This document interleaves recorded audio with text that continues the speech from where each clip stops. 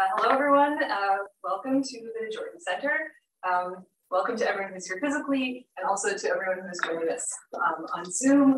Um, I see Jillian, so that's very good. Uh, so my name is Maya Vinokour, and I'm very happy to introduce the joint NYU and University of Colorado Boulder speaker series on Ukrainian energy studies, which is going to continue starting with this talk um, through the entire academic year 22-23. So I'm going to say a couple of words about the series, and then I'm going to introduce today's speaker, Dr. Margarita Balmaceda. So the origin of the series is a volume soon to be out with uh, Palgrave on Russian and Soviet energy studies, which I've been working on with my colleague Jillian Porter, um, who you can see here on Zoom, um, and she is in Colorado. But Russia's invasion of Ukraine in February confronted us with the urgency of thinking about energy in Ukraine specifically.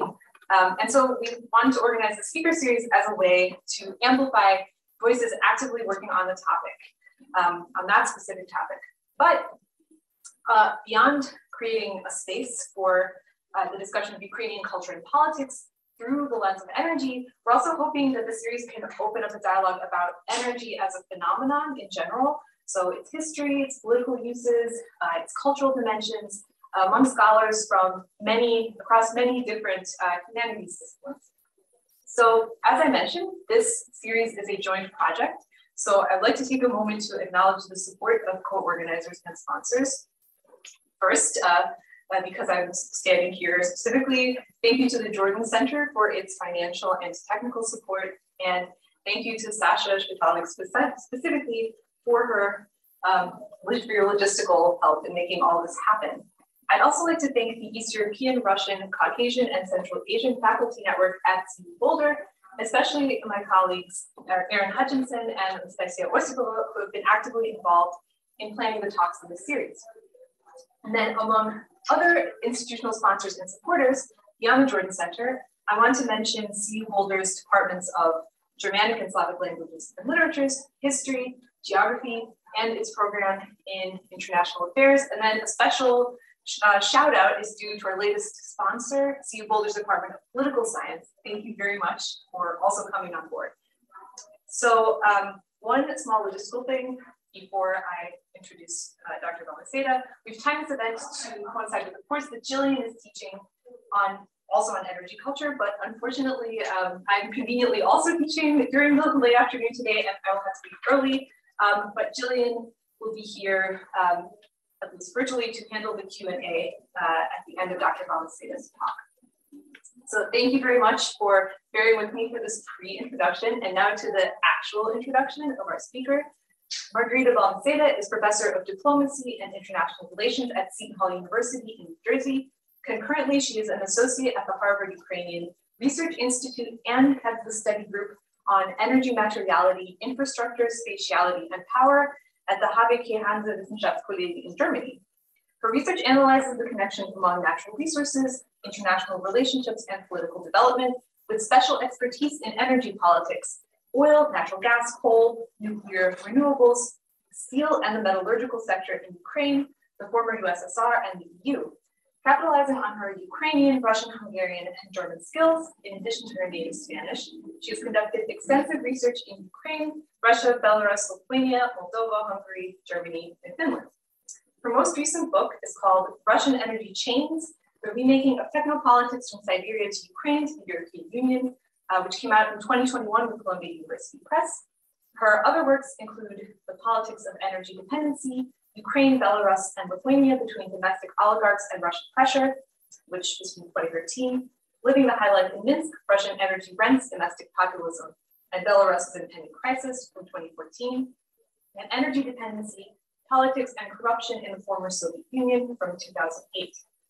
Her talk today is called Ukraine in Russian Energy Chains, Threat, Temptation, and Learning from the Past to Understand Ukraine's and Europe's Current Energy Challenges.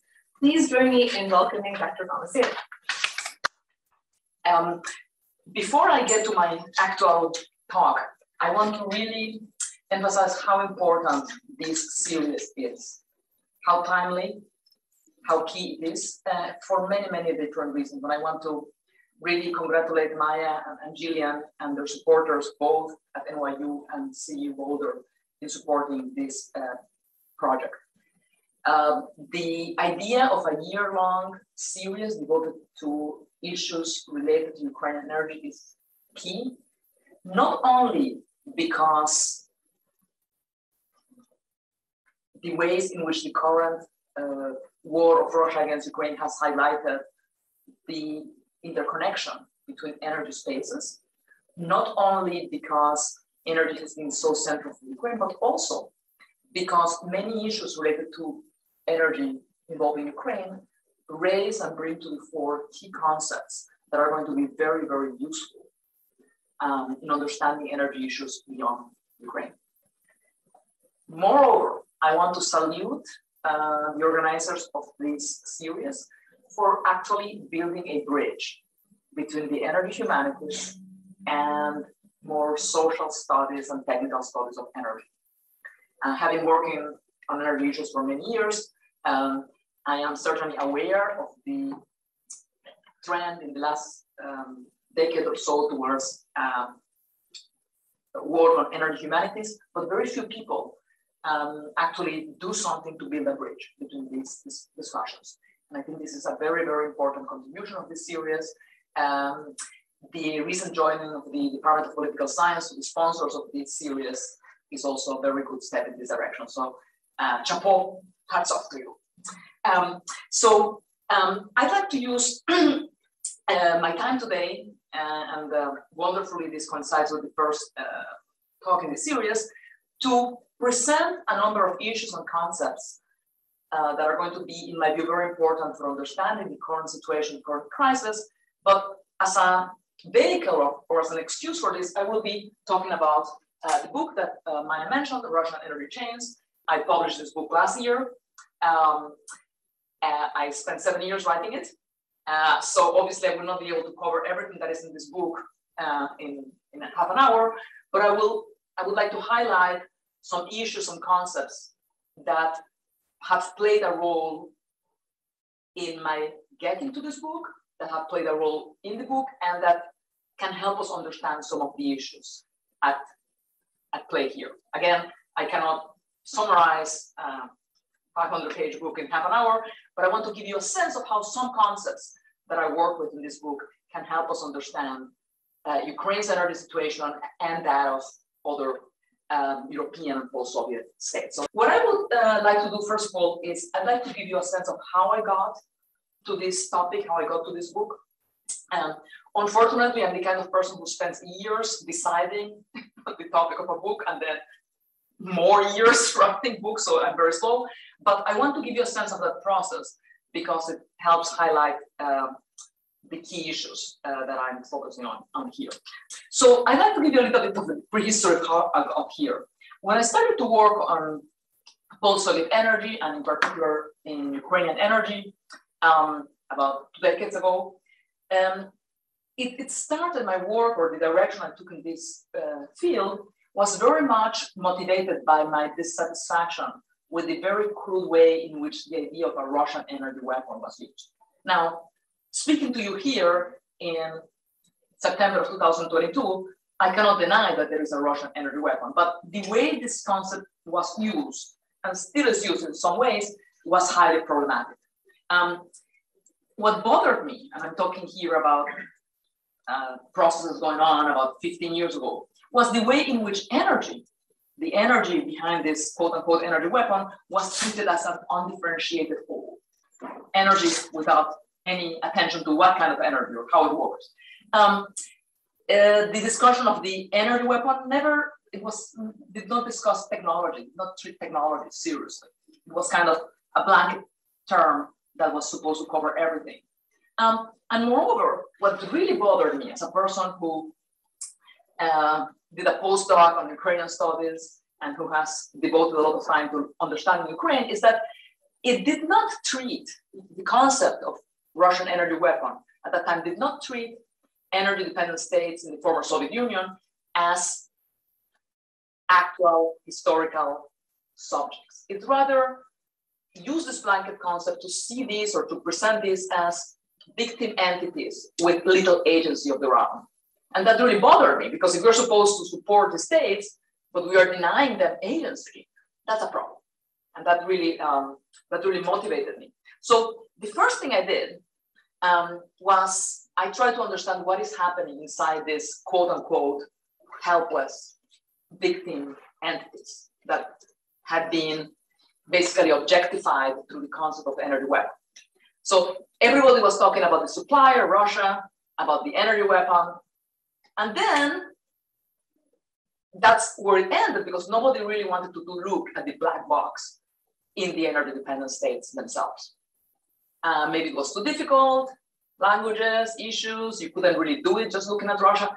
And basically what I did is I spent a lot of years looking at this black box. And I'll tell you a little bit about some of the issues I looked at in this black box, which are still um, important. So the first thing I did, um, so looking at this black box uh, involved uh, understanding who were the winners and losers of different types of energy policies, including relations, energy relations with Russia, trying to understand issues of governance, who was making energy policy. And I did this basically through three books. I agree that I apparently overdo things because I ended up writing three different books on different aspects of this issue.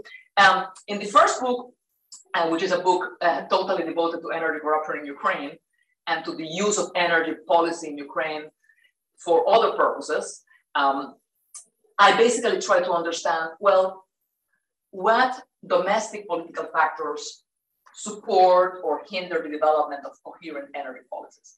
And for the period I studied in this book, uh, which I call the classic period in Ukrainian energy policy, I can discuss that later why I say that, um, basically energy policy was used for some other goals, not really for energy policy. Um, uh, we can discuss that uh, later. Um, in a second book, I try to understand how do we explain different responses to the common challenge of energy dependency on Russia. How does the political system or the political situation in different states, in different post-Soviet states, explain or how does it relate to the way the states are managing the energy relationship with Russia? And I did this by comparing the cases of Ukraine, Belarus, and Lithuania. My original intention with this book was to understand how the political system in each of these states, which was very different political system, affected energy policy. That was my original goal. But what I ended up finding out is that actually the way you manage that energy policy had a feedback effect and came to affect the political system as well in different ways in the cases, of course. And finally, I wrote a totally separate book on Belarus, uh, where through the lens of oil refining, I analyzed the question of how a small, apparently client state can manipulate its patron state and how that manipulation, both financial, um, material, and discursive, can be used for the maintenance of authoritarian regimes. So in all of these books, and I spent a lot of time working on them because I'm very slow. Um, the key idea was that there was something going on at the domestic level, in the governance level. Um, uh, there was something about corruption. So that's kind of the emphasis I had in that work. And I think it's, it was worthwhile, it was important, and I'm glad I did it. Um,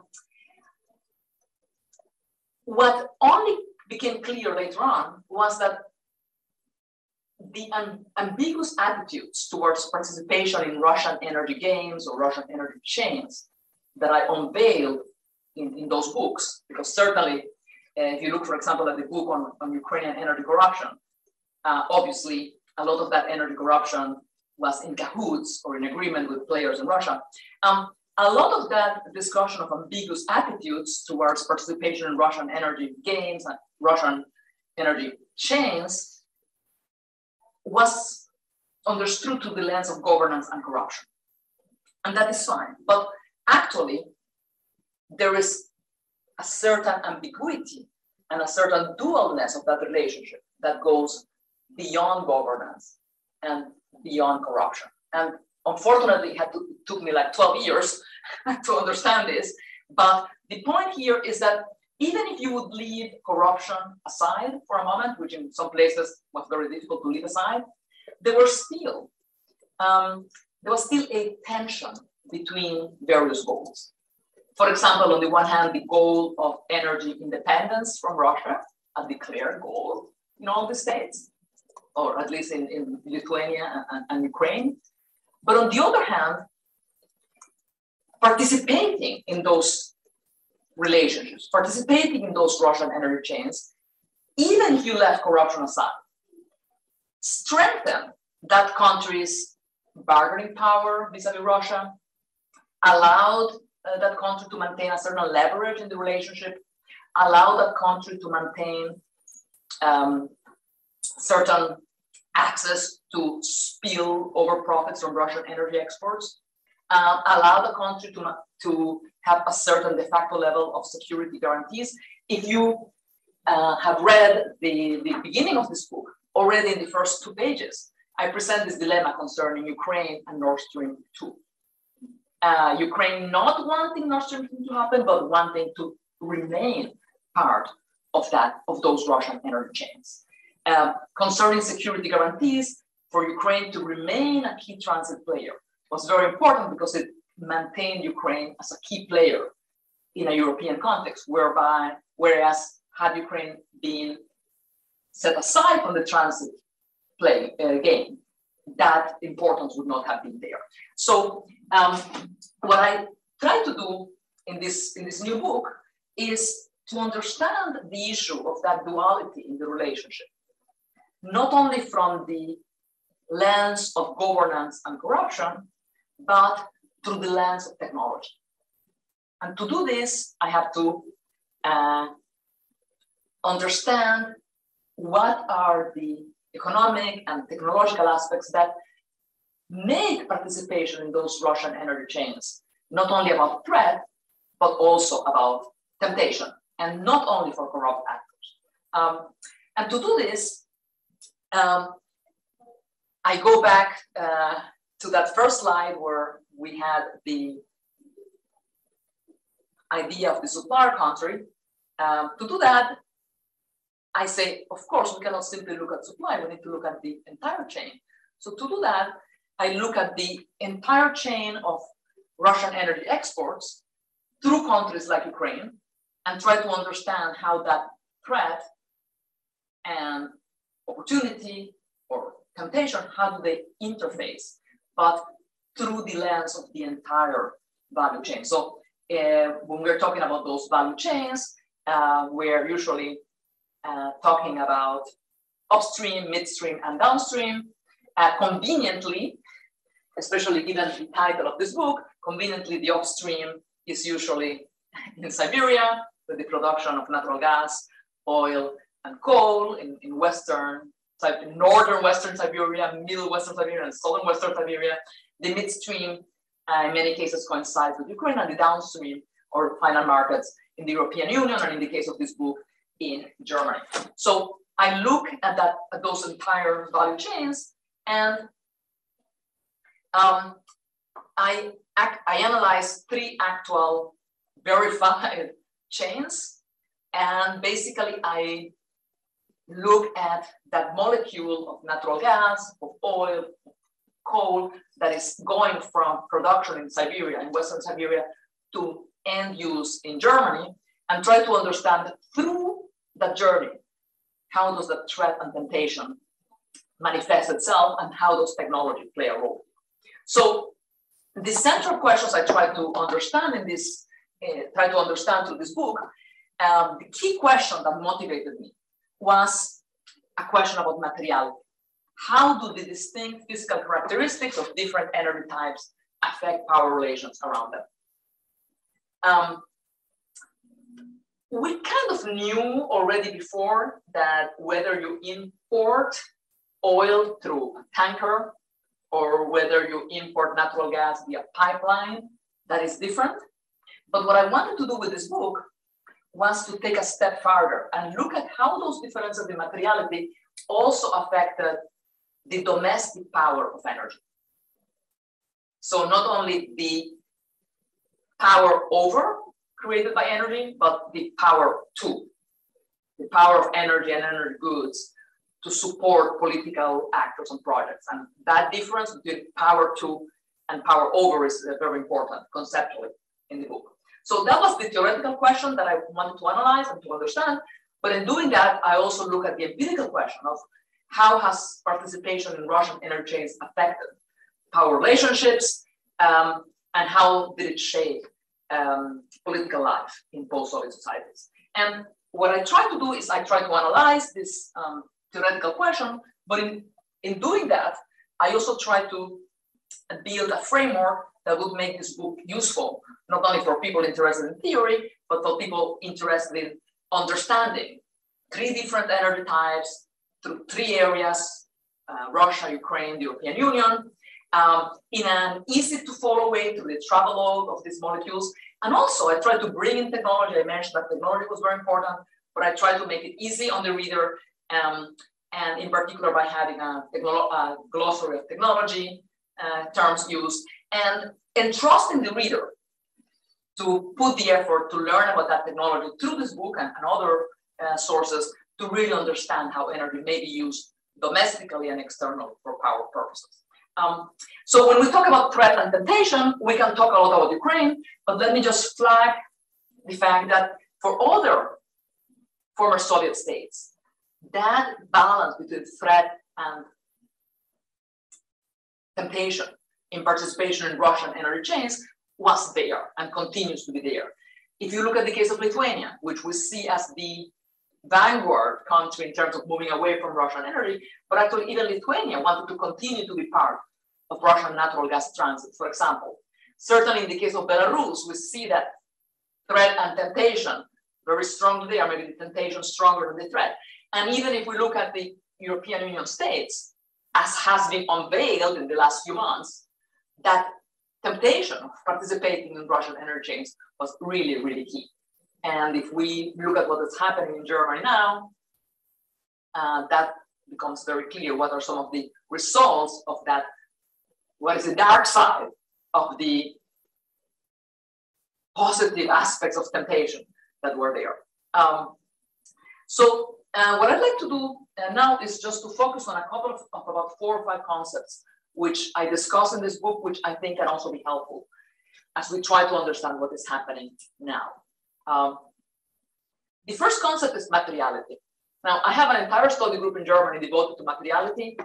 And when I started this group, I thought it was going to be six uh, wonderful, world famous scholars just developing my view of materiality apparently they each have their own view. so uh, there is debate about what materiality means.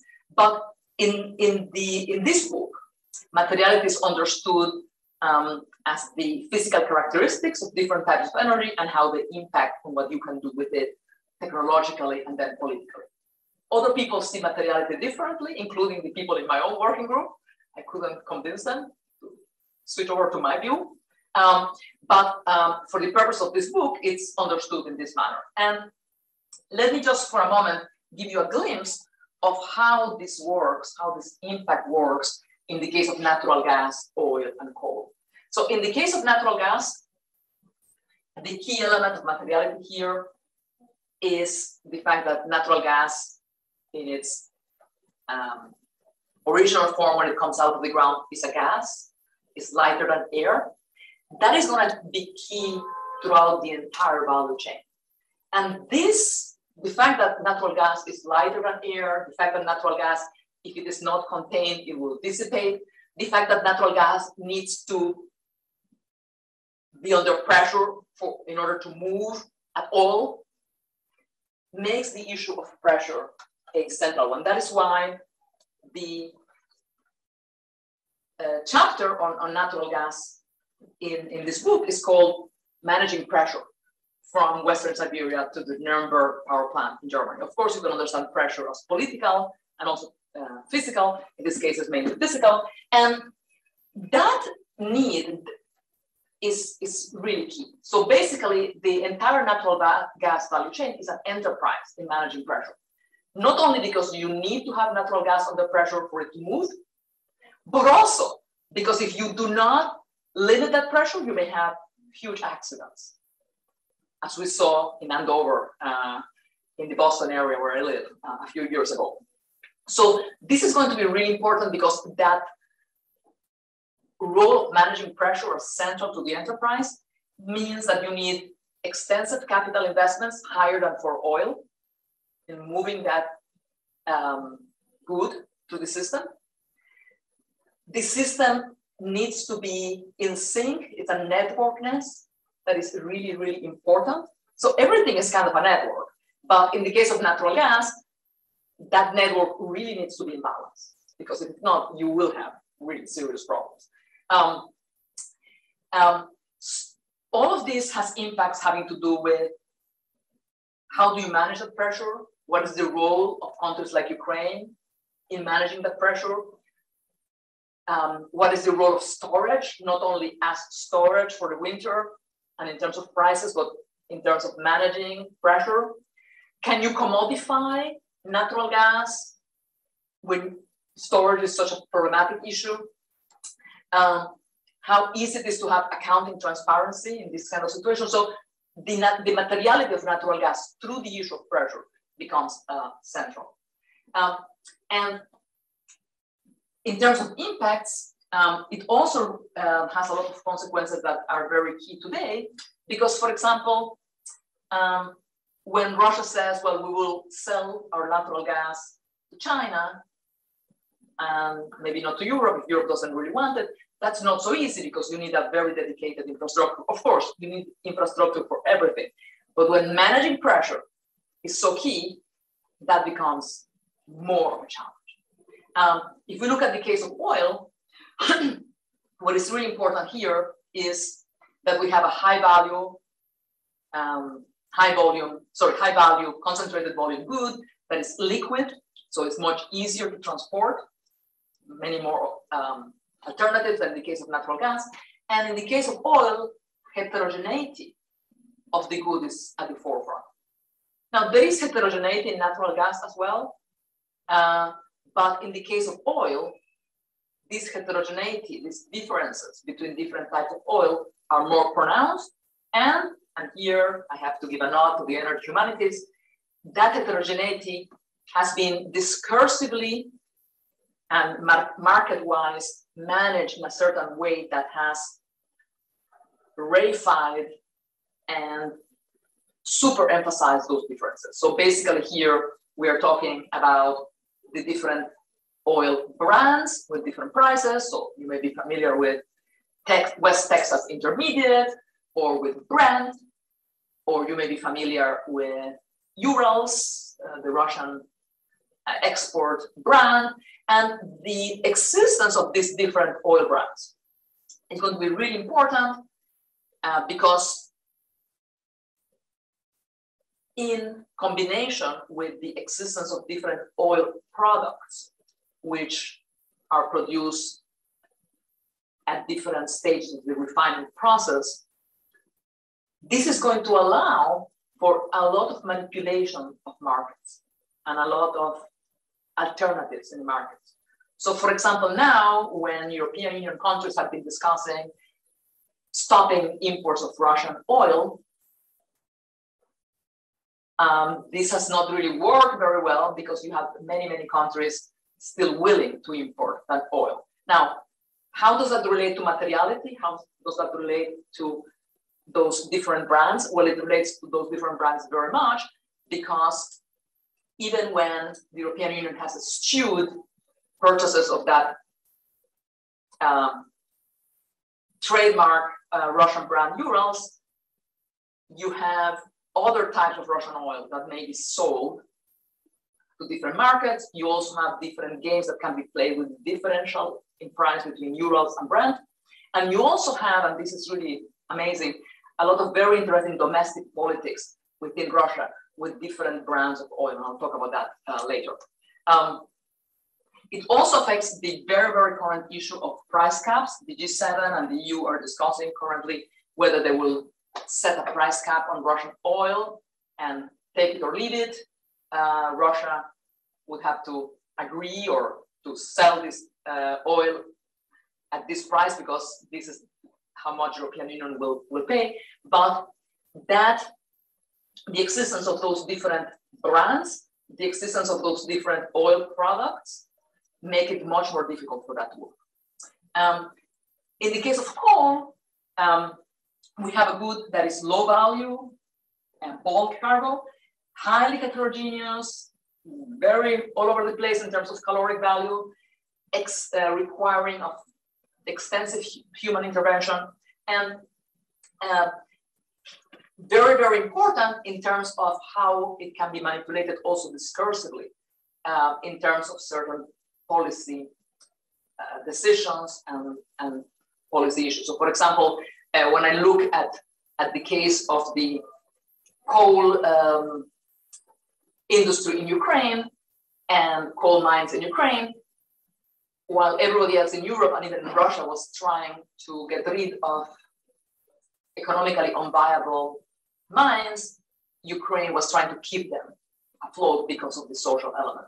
Um, coal is also very important because it's key to two value chains the electricity value chain, which of course you have been reading a lot about this because in the last months, European countries are going back to coal uh, as a way to perhaps uh, use less Russian gas, but also really important in the steel and value chain to the role of coking coal and coke in the blast furnace.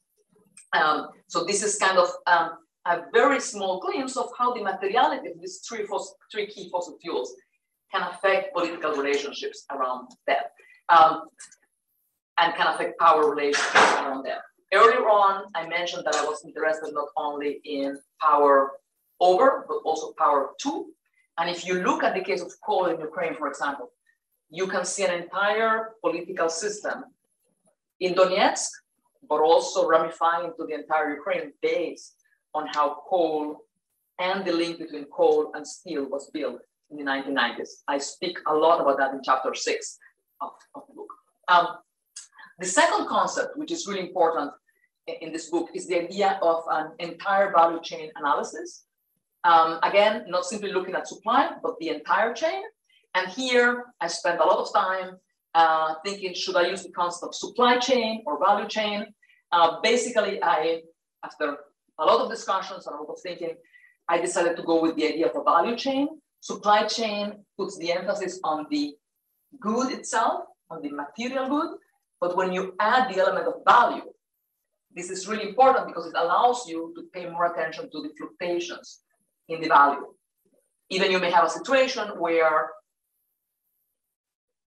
an end product may have less value than a feedstock. That makes no sense, but that is the reality.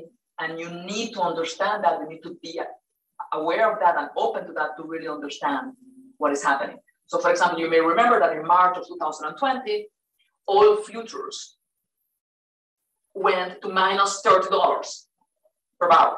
How can that be? That is crazy. How can that be? That is impossible.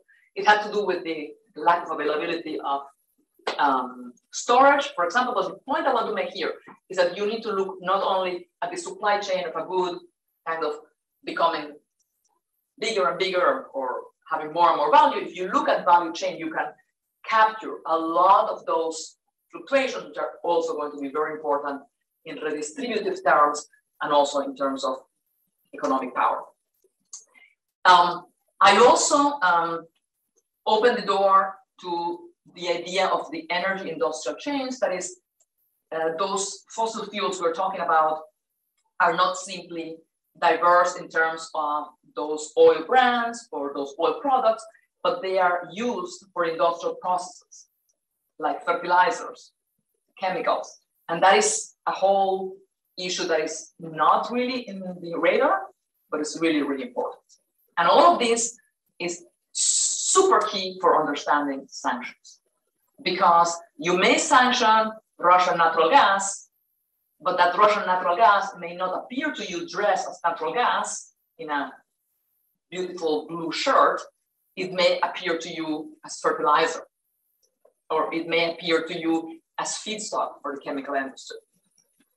Um, or that Russian oil that you're trying to sanction. For example, when a few years ago, the European Union tried to sanction Belarusian export of oil, that, that oil may not come to you in the form of oil, but may come to you in the form of lubricants. Again, that's why looking at this entire chain is so important. And the third key concept here is the concept of energy political systems. And basically what I'm trying to get at here is that energy systems produce much more than just electricity or heating. They produce a lot of other things. Um, I have concentrated mostly in the post-Soviet world, but I'm sure we could do this graph for other societies as well. They produce rents for sure and profits. They produce currency for bargains, and certainly I saw that very clearly in the case of Ukraine, especially when I work on corruption in Ukraine. They produce, of course, employment. They produce systems of social provisioning. And to understand energy, you need, you need to look at it as part of that system, a system that is not simply uh, a straight line going from the fossil fuel to the electricity or produce or heating, but where a lot of that energy is also used for other uh, goals or goods. Um, a fourth key concept is the impact of contractual nodes. And here I want to take a step back and contextualize this discussion into the issue of space and nodes. So when I started working on this book, it was really important for me to think about nodes where things happen, where prices change, where ownership changes, where a good is transformed, refineries, ports, all of that is important, and it is very important. But what I understood when I tried to conceptualize that energy space was that looking only at material technological nodes was not sufficient. You needed to look at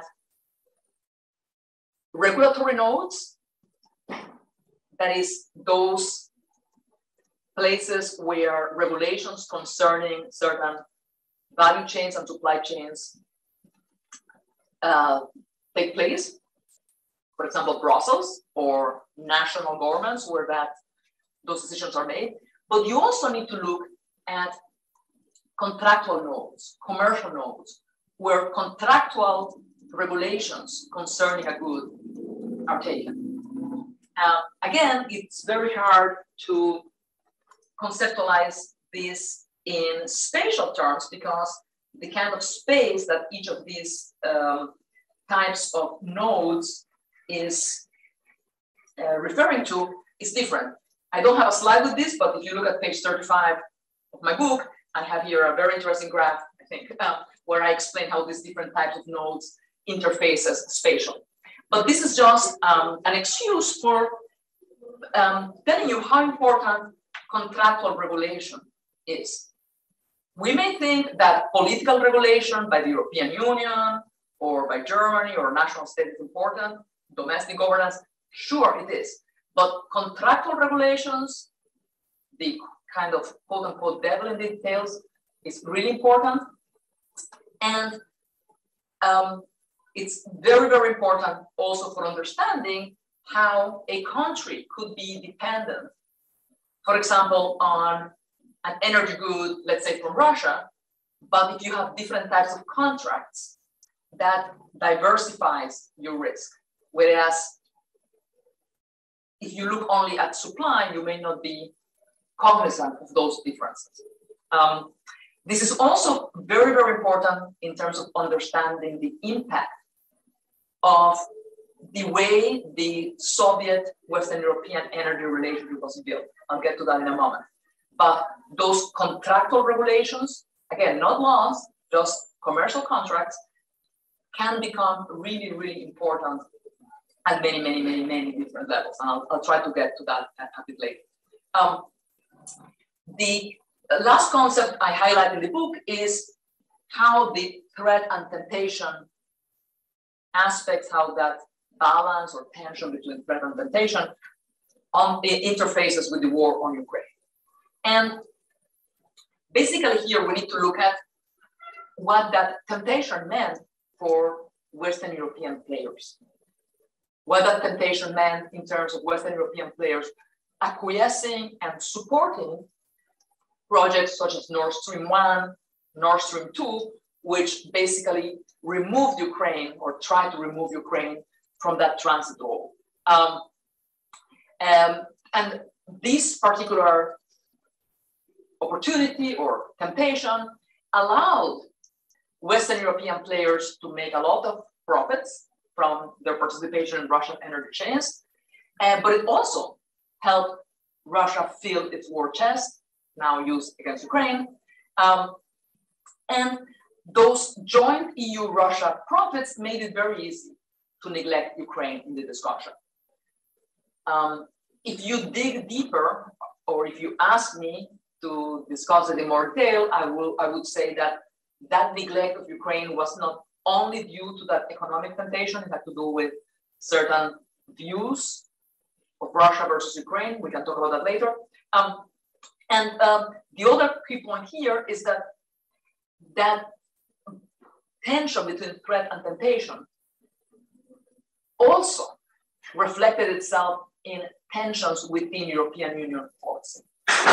And basically, European Union policy found itself in the years, in the last uh, few decades, in a tension between, on the one hand, emphasizing security of supply um, in the wake of the 1973 oil crisis, at the same time, as a result of transatlantic, transatlantic trends uh, Chicago School and more emphasizing liberalization of industries, especially so-called network industries, from phones to post office to gas networks. And then uh, in the last 10 years, decarbonization. And the fact that you had an European Union policy that had these different elements in tension made it very hard for the European Union to, de to, develop, to develop a very clear policy vis-a-vis -vis Russian energy. Um, so um, I have a lot of more things to say, but I simply want to um, have perhaps stay with just two more slides where I want to discuss what are some of the broader synergies of this work with larger issues in social sciences research. Um, and these are things that I have not discussed in detail, but are also in the book and are very important. So um, materiality and threat and temptation also relate to the role played by energy distribution and redistribution in the management of center periphery relations and also inter-ethnic relations. If you look at the case of Russia, within Russia, this is very clearly seen in the selective use of technology. So there is a couple of pages in the book where I discuss the issue of different brands of oil within Russia and what type of oil Russia is exporting and whether Russia is seeking to differentiate those brands to get the maximum uh, profit. There is technology that you can use to separate those oil flows in the pipeline to extract the maximum export profit from each. In the case of Russia, that was consciously not done. Why?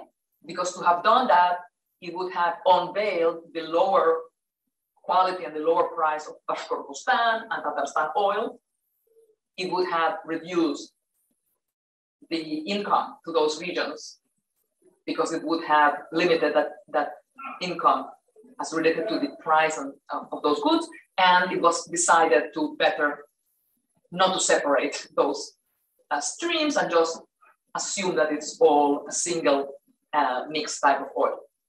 Um, energy redistribution and management also unveils the role of energy career paths, trans, trans-ethnic and trans-regional energy career paths in the management of ethnic relations. And you see that very clearly in this book through the prominent role of actors from the North Caucasus, Chechnya, Azerbaijan, in the Soviet uh, period. Um, and obviously it raises the issue of the um, multi-level governance at the EU level, national level, corporate level, contractual level. Um, what is the scope of each of these types of governance?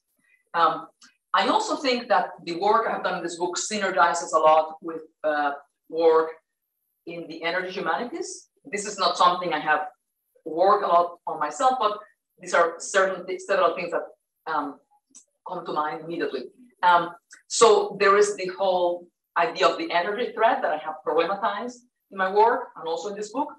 Um, so the question arises, well, how does the idea of being under threat synergize or not synergize with the idea of agency, as a philosophical level, agency of the entity under threat, but also how the concept of threat, and in particular energy threat, is used discursively by different actors. Certainly, I am aware of the way the, the idea of the Russian energy weapon was used by US uh, political players, but the idea of energy dependency as threat was also used actively by domestic actors in Ukraine, for example, even while that dependency on Russia was maintained. And you see that uh, in President Kuchma, you see that even after 2014 in people like Igor Kolomoisky, who, unfortunately, I don't have the video here, but while seeking to take over an entire uh, state company, Ukrnafta, justified that using the words of um, support, uh, defending Ukraine against so-called Rossiyskiy diversanti, Russian um, saboteurs. Uh, and another very important connection with the energy humanities and the discursive level comes with the idea of materiality. So I explained to you my view of materiality, but what has become clear also through the work I have done in this book is that yes, there is materiality as hardware, which is how I understand it, but materiality as software is also important in the way different actors have used materiality and materiality related arguments to support certain perspectives or policies. And for example, in the case of the Soviet Union and Russia, the idea of natural gas as a quote unquote natural monopoly, as something that can only be productively exploited by one company, was certainly used as a very important discursive element uh, to keep the prominent role of Gazprom. You may want to look at the work of Susan Wengelen um, uh, on this issue, um, uh, on, on, on, the discursive role of the concept of natural monopoly in Russia. But in the case of the European Union, you had another example. You have the situation where the idea of networkness was used to reify certain policies. So we know that natural gas is networked at a different level than other types of energy. Natural gas and, and electricity are networked at a more deeper level than oil, for example. That is important, but for the European Union, the concept itself of networkness became a justification for treating natural gas as a sector in a totally different way than the other sectors were treated. Um, related, creating much more uh, policies for security of supply in natural gas than in the other uh, sectors. So I think this is um, this is really uh, important. I want to end up by just uh, mentioning two other things. And if we want to understand what is happening today, we need to look at the beginning of Soviet fossil fuel exports to Western Europe, and in particular, to the beginning of Soviet natural gas exports to Western Europe in the 1980s. What is important here, in my view, is that this was not simply a system imposed by the Soviet Union, it was a system actively and proudly co-constructed by Western European players and Soviet players. It was a system that not only built an export pipeline, Druzhba, Bratstvo, whatever, it built an entire system of distribution within Central and Western Europe. But, and I go back here to what I mentioned before, it built an entirely new contractual system that has been basically key in Europe until five years ago, um, having to do with what you can do with the natural gas, whether you can resell it, not resell it, how you establish prices. And that system was proudly built by both sides. And I want to nod to a book by Per Hogselius. Per Hogselius is a Swedish historian of science. He's also a member of my study group in Germany. He's a wonderful book called Red Gas. And if you want to understand that pride, that co-creation of a system, um, I think you, you will be um, well advised to read uh, this book. I have a lot of other things to discuss and mention. I'm going to leave it at that here. And depending on how the discussion goes, I may bring in a couple more slides or a couple more issues. Um, for now, I want to just um, thank all the people who supported my work on this book. And um, I'm happy to invite you to join me on Twitter.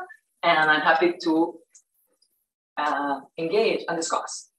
Wonderful. So thank you so much, Margarita. Um, I'm sure we have a lot of questions. And I do want to just mention that Per Hogselius, who you were just speaking about, will be speaking in this series later this fall. So um, any questions from anyone in person? Can you please elaborate a little bit more on the concept of materiality? I'm not sure I fully followed. Sure. Uh, could you remind me who you are? Uh, I'm, I'm sorry. My name is Anastasia. Uh, Anastasia. I'm here uh, as a postdoc. Excellent. So what is your field? Um, it's uh, political economy. I, I study um, decentralization in Ukraine. So not fully in your field, but related. Political economy, very important. So um, in my view, uh, materiality relates to how the material and physical qualities of a good affect what you can do with it. So again, let me take the case of natural gas, how the fact of natural gas being a gaseous substance affects what you can do with it. That is my view.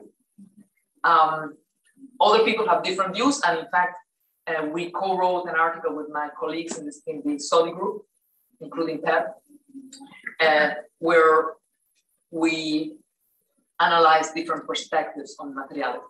But for now, let me just explain what, because some people see materiality as also having to do with the discursive uh, use. I see it more narrowly, like how does the characteristics of this good affect what you can do with it?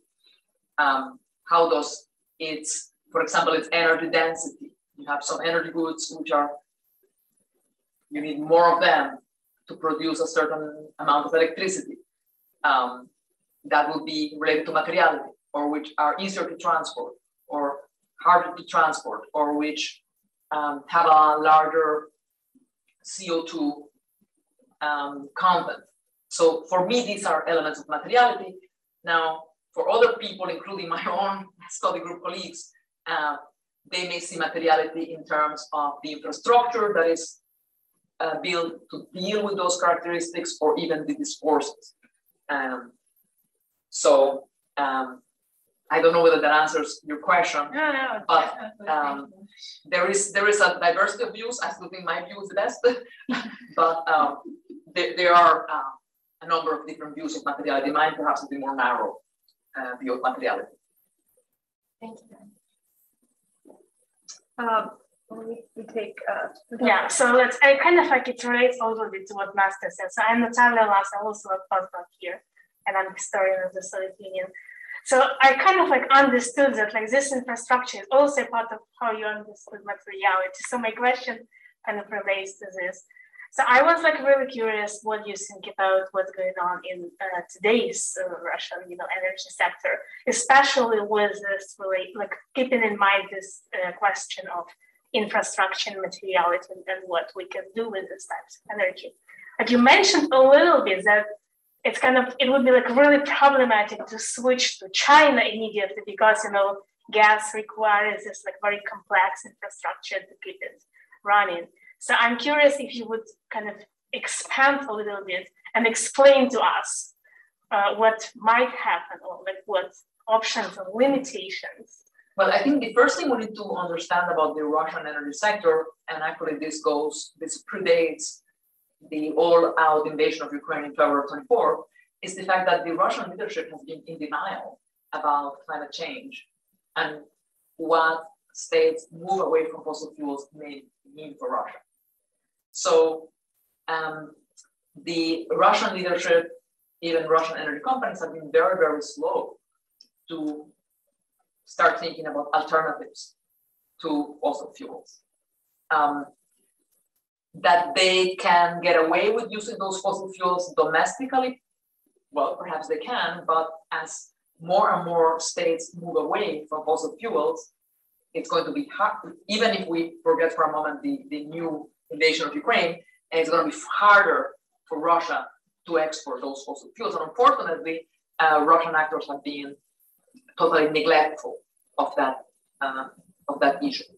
That is going to be a problem in the future, not only because there will be less importers of Russian fossil fuels, even leaving aside the war, but also because all those goods that Russia produces, which uh, have very high embedded carbon content, industrial goods, which use a lot of fossil fuels either in, as electricity or in other ways, they're, they're going to be harder to export because of changing regulations in the European Union and perhaps in the US. So that is a key issue. The second issue concerns the illusion that the Asian markets will be a real alternative. So now they have been in the last month an alternative, um, especially oil exports by tanker to India, Brazil, Sri Lanka. Um, but in the long term, the idea that the Chinese market will save uh, Russian production will be a real alternative. I don't think that this is um, a real alternative because of the way the Chinese have dealt with price negotiations. This has not been very uh, profitable for Russia, and also because of the sheer need to build an infrastructure that is still not there. So this is my, my short answer uh, to the question. Okay. Hey, I'm Jeff from the Center for Global Affairs. We're on MS uh, and Global Affairs and Energy Policy right now. Um, so I think the technical side kind of spoke to me a little bit more. But uh, does your book speak a little bit more on the agency of, say, Ukraine or some of these post-Soviet states specifically a little bit more? Because you spoke about, uh, you know, these these contracts between, say, the EU and Russia, and how something like Nord Stream one and two are something they both. Uh, um, well, I don't think it is. Um something that I discuss so much in this book, but I think in, in, my other book on Ukraine, my other two books I did with Ukraine, as I certainly do. But I think the the issue of agency uh, interfaces with the issue of technology when you look, for example, at the role of Ukraine in managing pressure. If you look at the Ukrainian natural gas system and how it has played a really, really important role in the managing of natural gas pressure that is very important for Russian exports, that gives you a sense of, of Ukrainian agency. Now, agency is not always used in the best possible way. Agency is not always used for the good of the nation. Um, but we can see already from the 1990s that there was agency on Ukrainian side, even if that agency was not used to become less dependent on Russia. Okay, I think we can go to Zoom, Jillian. Okay, uh, we have a question in the chat from John Feldman, uh, who asks, given all the discourse regarding energy dependency on the Russian Federation, what are the actual historical counterfactuals of this dependency? In a word, what were the alternative possibilities for Western and Eastern Europe regarding energy po policy? Uh, what were or what are? Uh, what were so I think, you know, what could have happened that didn't happen is. Well, the first, the first thing that could have happened that didn't happen was a real move to renewables. And what we have seen in the last months is that actually you can move to renewables if you want to. Uh, but there was no political will to move to renewables. Um, the second thing that could have happened, and of course this is very different um, depending on what country you are dealing with, was the use of nuclear power. Um, so is nuclear power an alternative? Yes. Is it a political alternative? This is different in, in different states. It was certainly an alternative for Ukraine, and it was used. It was an alternative for Lithuania, and it was used. It was an alternative for France, and it was used. It was an alternative for Germany, and it was not used, or rather, it was um, there was a clear change to not allow the use of nuclear power. Of course, that decision has, has been revised as of last week, and we will have three nuclear power plants on standby next year. So there were alternatives, um, but every conceptualization of alternative is always seen through the prism of cost and convenience. So any of you who buy books through Amazon knows that Amazon is not the only way you can buy books, but for many of us, it's the cheapest and most convenient. And I think we can apply that uh, to the case of um, Russian energy uh, imports.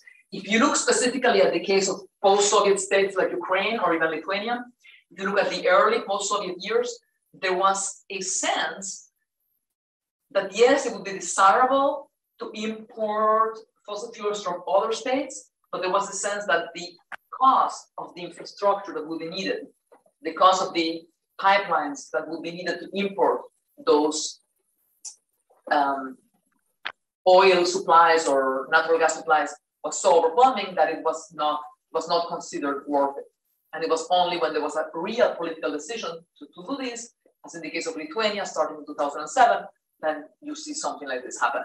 Thank you. Okay, I will ask a question of my own. Um, in the spirit of building those bridges between the humanities and the social sciences on these issues, um, I wanted to ask about a, a, moment in the first chapter of your book, Margarita, where you say that um, you're building on work in cultural theory that reflects on the value of commodities above and beyond their exchange value.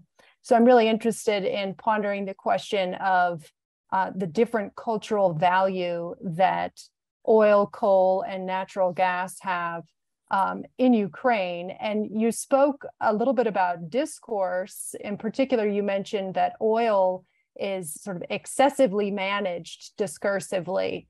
Meanwhile, coal is almost invisible, at least in European and American discussions of sanctions. So there's a kind of a discursive invisibility of coal. Um, and I just wondered if you could say a little bit about either the, I mean, is invisibility a value that coal has? Or could you say a little bit about um, what kind of different cultural values these different energy sources have in Ukraine specifically? So maybe not just thinking about how the European and American discussions of sanctions are taking place, but you know what is, how is coal discussed in Ukraine, particularly given that there is um, there is domestic production of Ukraine, or that has been an important industry there in comparison with the oil and the natural gas, which is you know mainly coming from Russia. So any comments on cultural or discursive value of these energy sources would be great. So thank you very much for your question. At first, I was a little bit afraid that you may, like, I may need to like remember what was in that footnote on page 15, footnote 327, uh, which I haven't read in, in a year. But um, the key point here is that uh, those cultural values of those different energy goods are very contextualized and they are very different in different countries and different stages. Um, so that I think that is very important. I'm, I'm gonna talk for a moment, in a moment, I'm going to, to talk about, um, about Ukraine. But before doing that, um, your question also brings a smile to my face because as I was working on this book for several years, I, I was going to have a chapter on Russian natural gas and the politics of value. I ended up not writing that chapter. Um, but the, the point here, I, I, this, this is a kind of preface, was uh, the fact that Russian natural gas was presented and was largely uh, received as a high purity uh, good, a beautiful, perfect good, a bridge in the transition from fossil fuels to something else. Um, and natural gas was, again, even outside Russia, kind of uh, given a special status, at least in the context of these uh, other fossil fuels. Now, concerning specifically the case of Ukraine, uh, your focus on, or your question focusing on, on coal is really important because for Ukraine, coal was an element of pride. Coal continues to be an element of pride. And if you look at the early years after Ukrainian independence in 1991, coal was discussed as that alternative that may allow Ukraine, to the extent that this was desired, to be energy independent from Russia. Now, in general, having studied that period in, in great detail, I know that energy dependency on Russia was not conceptualized as an existential threat very much in the early independence years, but nevertheless, coal was seen as that possible uh, counterweight to Russian oil or gas or fossil fuels in general. And that had two consequences. One consequence had to do with the way in which the coal sector was managed in Ukraine. So I mentioned briefly uh, a few minutes ago how in almost every other country, including Russia, uh, the trend was towards the closing of mines that were not viable.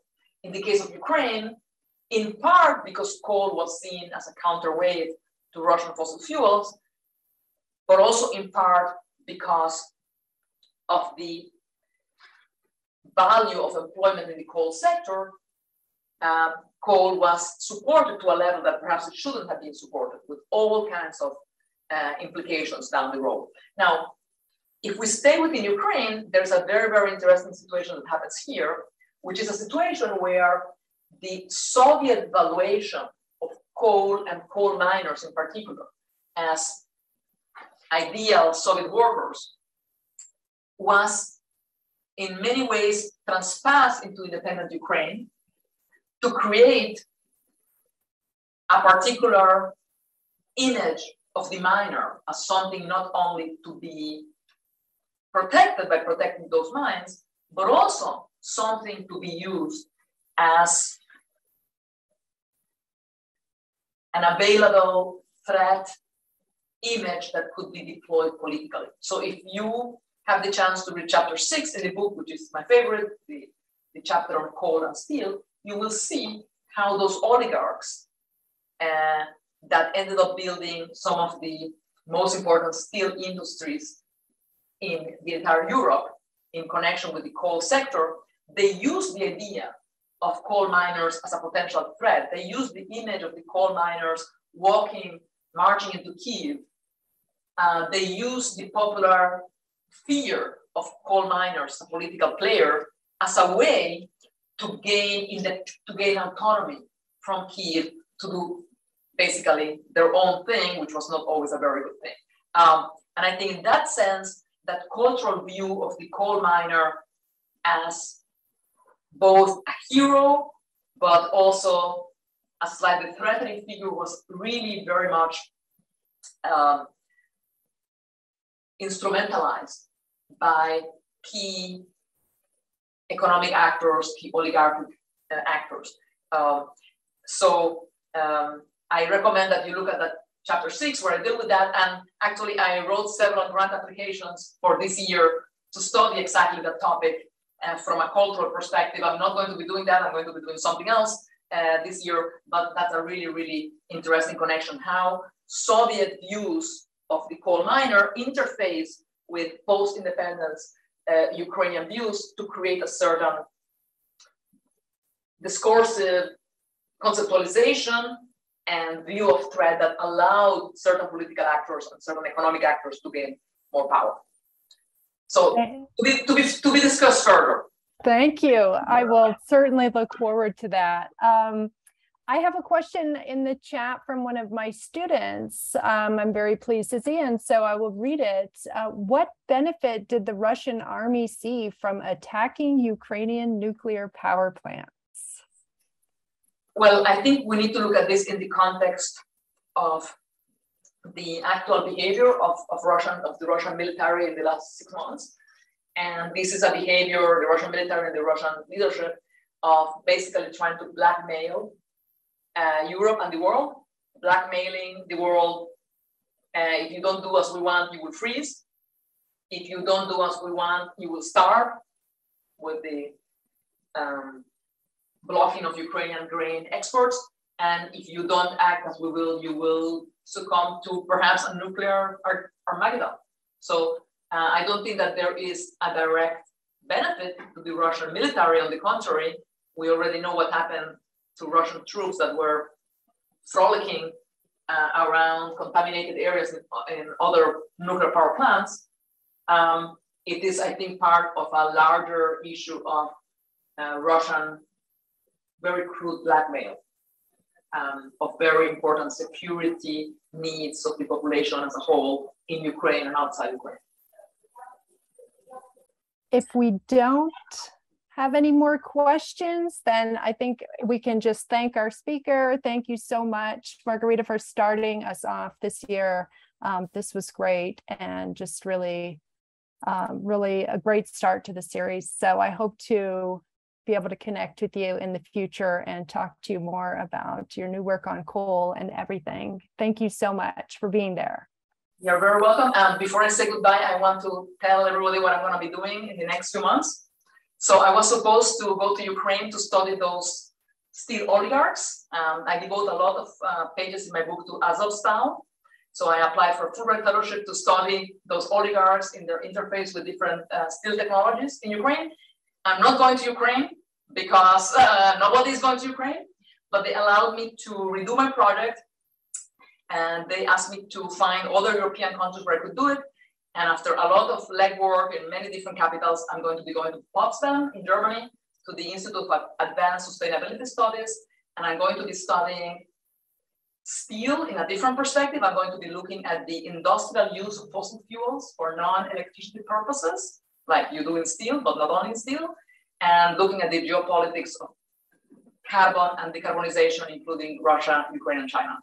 So I hope I will not freeze because I just got an email from my host that the offices will be limited to 19 degrees centigrade. I've been trying to find out how much does that mean in Fahrenheit. it's warm. It's warm? Mm. Okay, so no, he, he had like an exclamation mark. So I was very afraid. So no problem. I'm still worried. I'm still worried what may happen, but um, I hope I will still uh, be able to learn something uh, and to survive the heat the heat, the cold, and then the heat, because I'm sure they will not let any any air conditioning next summer. It is 70. 70. Okay. Okay. No problem. So thank you everybody for this very warm welcome. And uh, again, uh, to Jillian and Maya for organizing this great series.